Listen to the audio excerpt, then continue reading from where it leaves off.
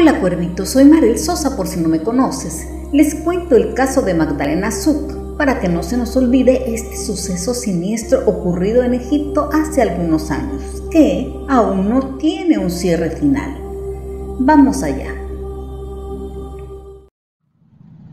Esto es el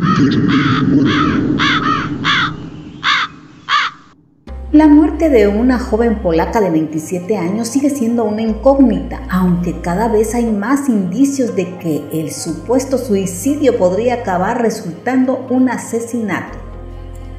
Magdalena Suk fue hallada muerta en el hospital Marsa Alam de Egipto, siendo el suicidio el primer motivo del que hablaban los médicos.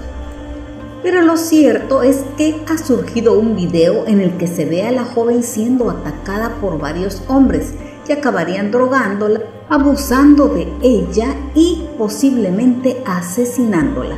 Los medios de comunicación polacos afirman que Magdalena, quien tenía dos billetes para volar rumbo a Egipto, finalmente viajó sola al no poder ir con su novio, puesto que su pasaporte había caducado.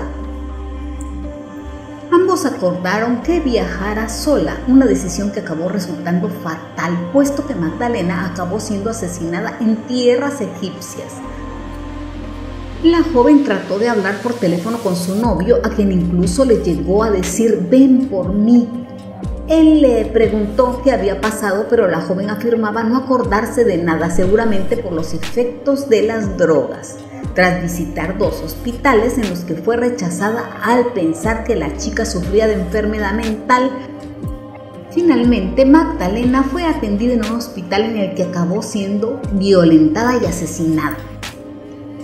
La familia ya ha contratado a un detective privado. Se trata de Krzysztof Rutkowski, quien ya ha trabajado en varios casos de violación.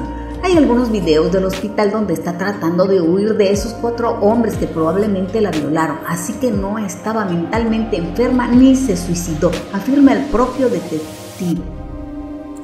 Por otra parte, la Fiscalía del Distrito de Helenia Gora solicitó una extensión de la investigación sobre la muerte de Magdalena Zuc.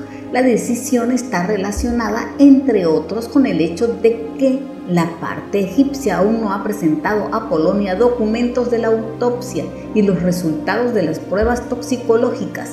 Hasta ahora, solo una parte de la evidencia recopilada ha sido enviada a la oficina del fiscal el fiscal Christopher Suartek dijo en una entrevista que la evidencia realizada hasta el momento no ha cambiado los arreglos actuales.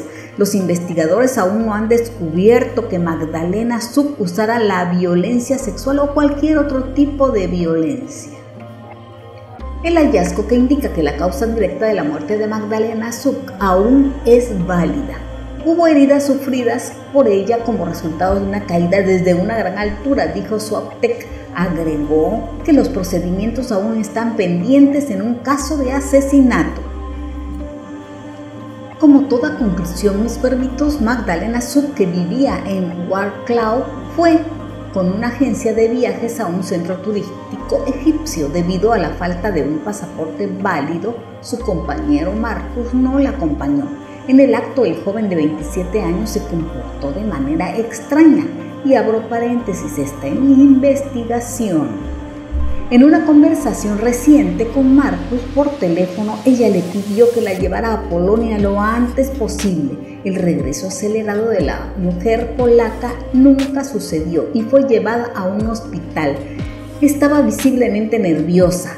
Ella se tiró, según el personal del hospital egipcio a través de una ventana desde el primer piso, muriendo inmediatamente en el hospital de Hurgada como resultado de sus heridas.